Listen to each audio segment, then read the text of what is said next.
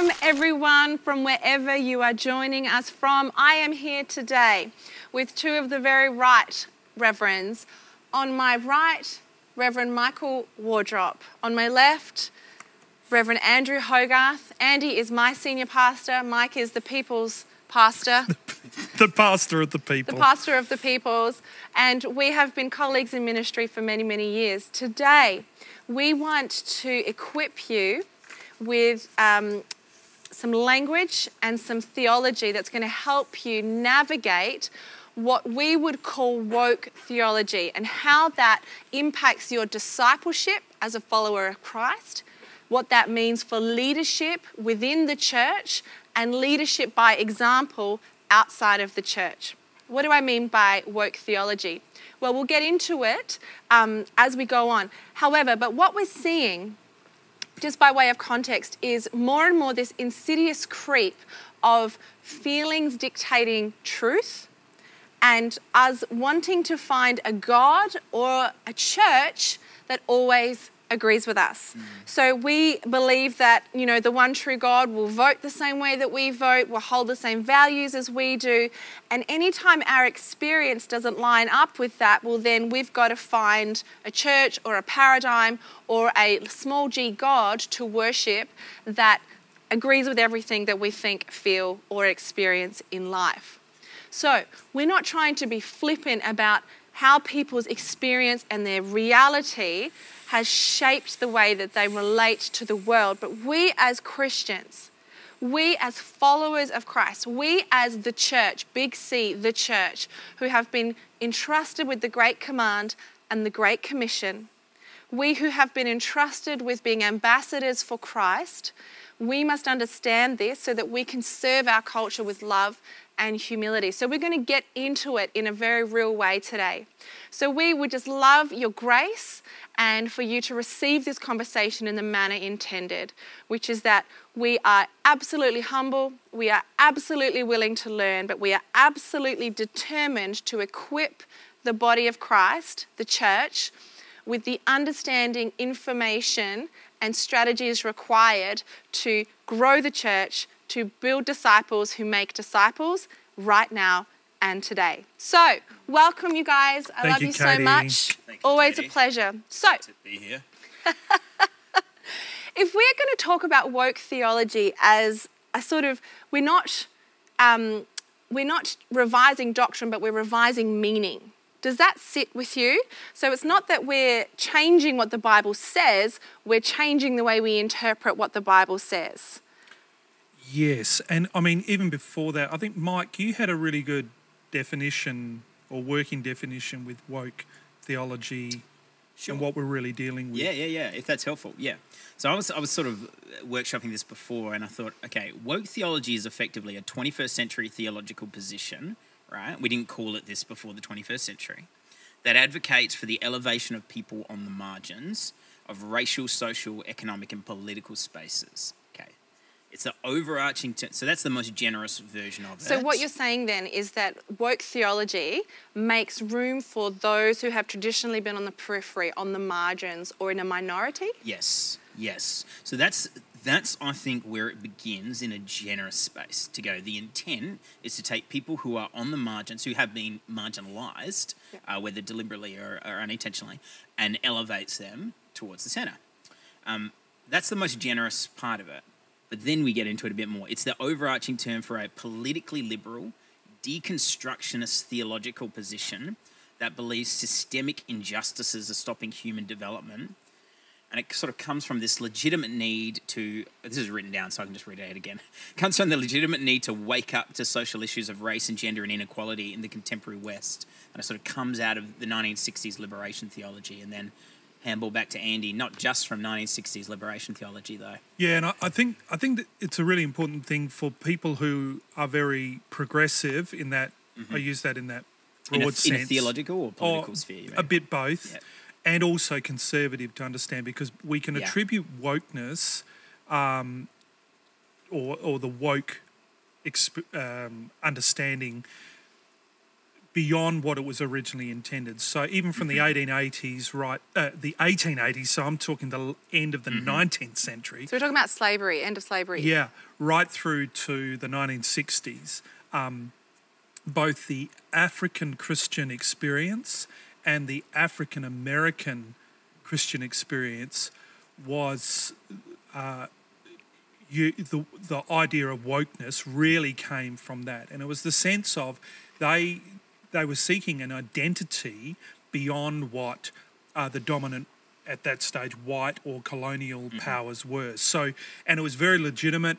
Uh, well, quite obviously, you know, black is beautiful, sort of thing. Understanding that, claiming that, and claiming claiming the, you know, really the um, authentic uh, anointing and apostolic um, calling upon them as groups of people, um, which had previously been sort of literally whitewashed, you know, over. Yeah. So, So what- what- so that that was a really that's a really significant thing, and part of the it's sort of when we're talking woke.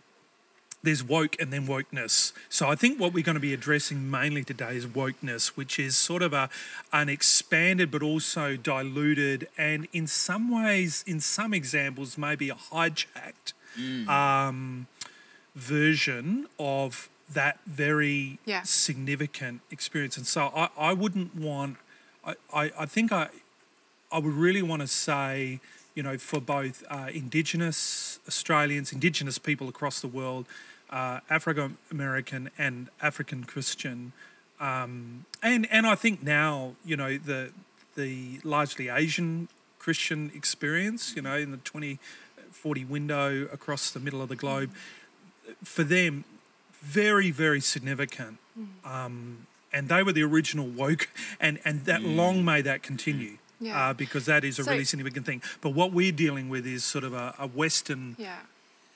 So historically, what if I've understood you correctly, Andy? Historically, what you're saying is wokeness came out of largely from the African American experience across the board, essentially where it's just like our identity and the issues affecting our people group matter, Yeah. and we're not going to allow them to be defined or attributed value or otherwise by somebody outside of us. So when you hear the phrase "we've got to stay woke," it's we've got to stay really sharp on the ways in which a dominant culture will make smaller or diminish our experience, our agency, etc. Have I understood that correctly? Yeah, and particularly where that dominant culture, where there's streams of racism, Yeah. uh, i- i- Yeah. essentially that. Uh, that is absolutely. And so, following on from that, what we're saying that when we're talking about sort of wokeness, it's like we've kind of appropriated, or culture has appropriated a lot of the good intent from that movement or from that reality in order to justify a set of beliefs that is more progressive, deconstructionist, Mm-hmm. and designed to elevate what was previously in the margins. Yeah. Correct? Yeah. Okay, so if we now want to define some terms, so Mike, you used a lot of big words. Thank And you. you're very smart and attractive, and we love that about you. Went to an inner city private school. Thank you for acknowledging it. Could you please use your white male privilege to mansplain to us the terms? I'll take Wow. it from here. yeah, I'll take it from here. Thank you. So, I'd like you to talk about. Um, so, Andy, no, I'll start with you, Andy. Okay. You mentioned progressive. Yeah. Define your term. Yeah. I, I think for the sake of this conversation, I think by progressive, I mean um, in its most extreme form, the deconstruction of almost all that is, all that has happened since the 1600s through to 1980, and the deconstruction of that in order to basically create a brave new world at the expense of that, Yeah. of all that has gone before. And that's a key thing. Very good. So, Mike, Mm-hmm. you're talking about it's a deconstructionist kind of worldview, Mm-hmm. so just piggybacking from what Andy shared there, just break that down for us. Deconstruct, deconstructionist. Yes, thank you. Let me break that down.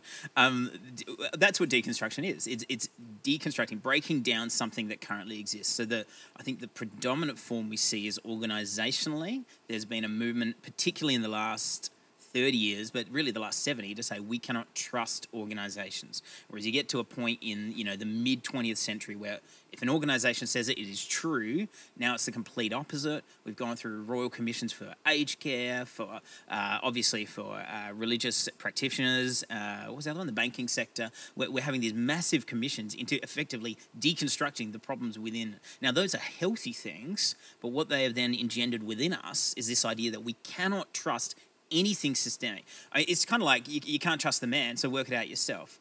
Now, in a sense, I sympathise with that. I'm like, mm. yes, please think for yourself.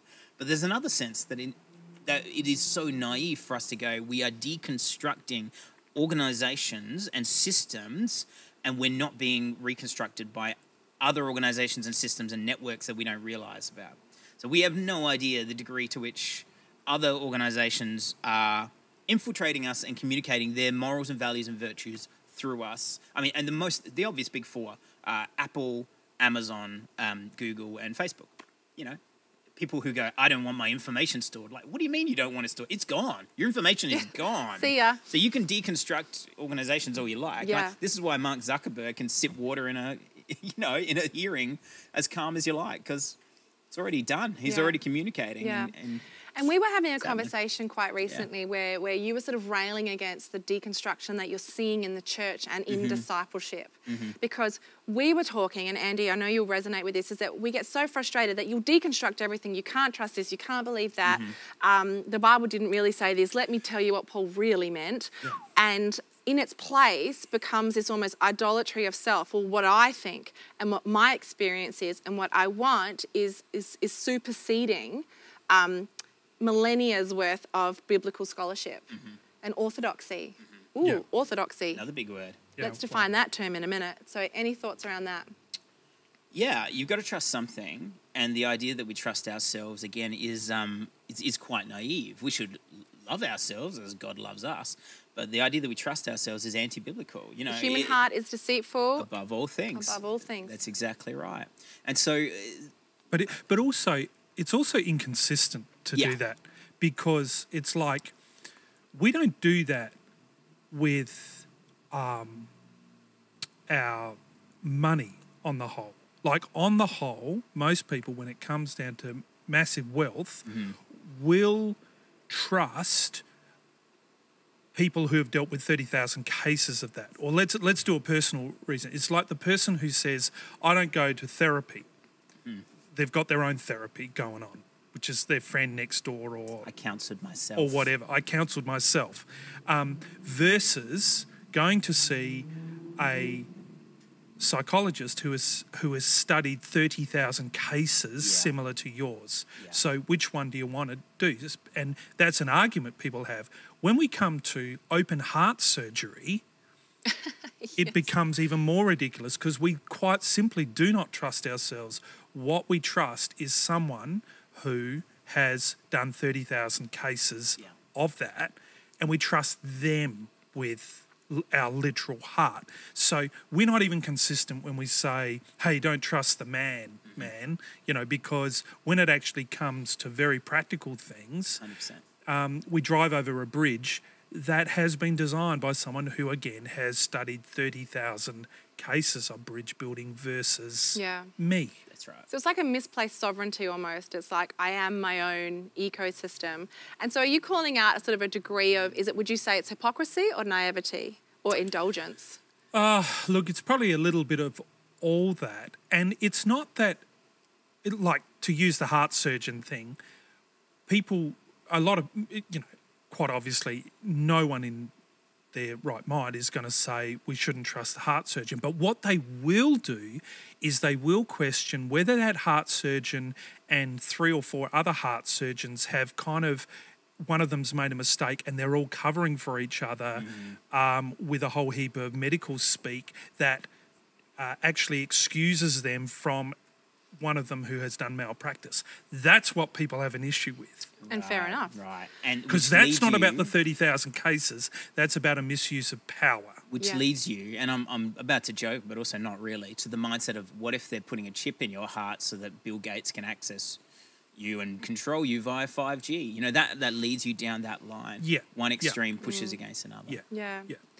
So I think what we, uh, what I'm noticing here is that a lot of the way that I suppose wokeness and woke theology has started has actually come from a noble place. Mm-hmm. So the deconstruction of organizations and the royal commissions, they're designed to break down what was Yeah. in order to rebuild something that makes it better, more equitable, and ultimately addressing safer. sin. Seriously. They're addressing Yeah. sin. Yeah. Yeah. Um, Yeah. So it's like it's, it actually really matters. It matters that people on the margins, people who have been marginalised, um, that they are because that matters to Jesus so so so so much. And so we're not sitting here saying throw it out. We're not trying to chuck out the baby with the bathwater. But I think sometimes what wokeness does is chuck out the baby with the bathwater because we're just Yeah. like throw it all out.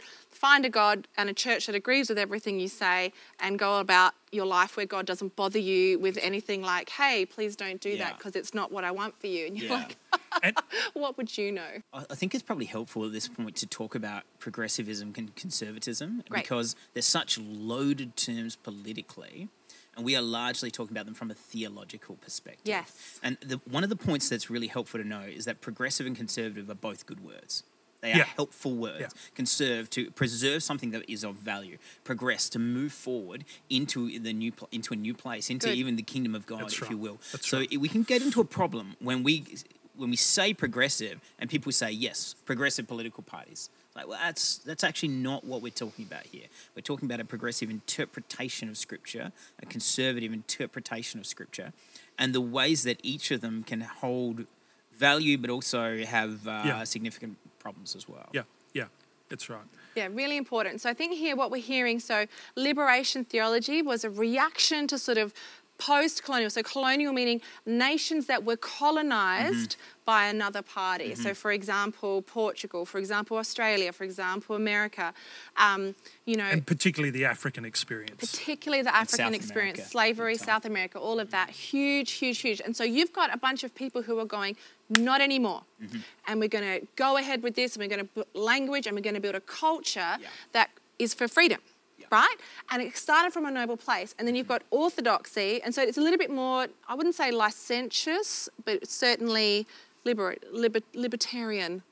Yeah, yeah. So Well, I think and, we just need to appreciate that. yeah, and it, when you've you when you've been Oppressed. when you've been on the margins, um, whatever those margins are, um, you know, you've got nowhere to go. Mm. Yeah. So the only way to go is forward, and if that means burning down the place Yeah. or burning down a few places, breaking a few eggs to make the omelette, Yeah. you will do that Yeah. because you're driven by Yeah. um, you, your back is to the wall. Yeah. Um, and so whenever people's backs are to the wall, Yeah. you know, we're only we're only two meal two missed meals away from a revolution. Yeah. Um, well, that's and it's an interesting thing when you think about a revolution, like when you talk about terrorism, you talk about Palestine, Israel, Gaza, all of that mess.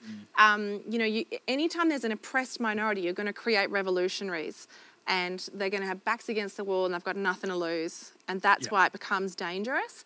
Always so, be a problem. really important that we've defined those terms. I want to move forward a little bit now. Can we now quickly talk about orthodoxy? So you're going to hear us talk about orthodoxy a lot today because, uh, but orthodoxy in a positive way.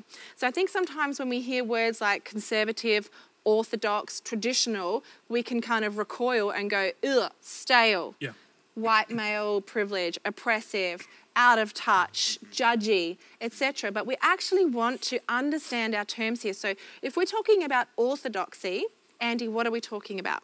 Yeah, so we are talking about, and caveat being, uh, just about every movement tries to make claim to orthodoxy, even if they're not, you know. But orthodoxy is, I would say, an understanding of the core truth of all of Scripture, Old and New Testament, read in the light of the New Testament, read in the light of Jesus Christ, understood and applied by the Holy Spirit into that context in in the context also of the broad revelation of God through Scripture and Jesus Christ. Okay. Astounding. Mike, can you put that in plain language for us? Orthodoxy is right thinking. There it is.